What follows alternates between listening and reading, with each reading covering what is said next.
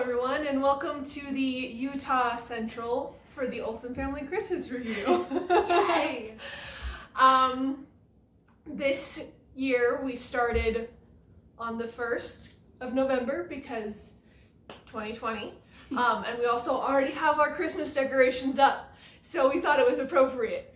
Uh, we started with One Royal Holiday, uh, starring er- Aaron Tveit and Laura Osnes.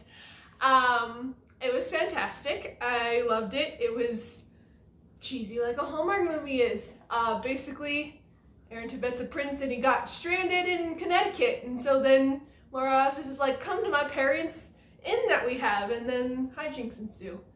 Uh, I would give this a rating of 9 out of 10 pajama balls. this movie was sure something.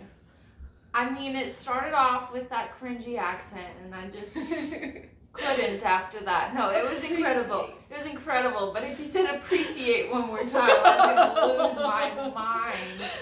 Nah, it was cute. It was cute. I just felt like they put Broadway actors in a movie and didn't have them sing enough. So That's fair. I give it three. I don't remember what they're called. Guernsey Potato Peel Pie Society pastries out of five. Um, I really enjoyed this movie because the theater geek in me just wanted to see theater actors in a movie. Um, I agreed that there wasn't enough singing, but it's fine.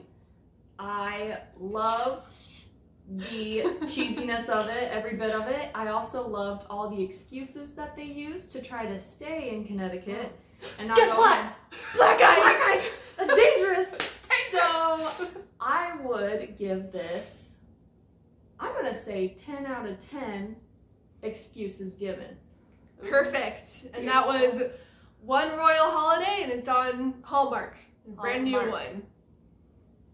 Hope you guys are having a great time! Yay!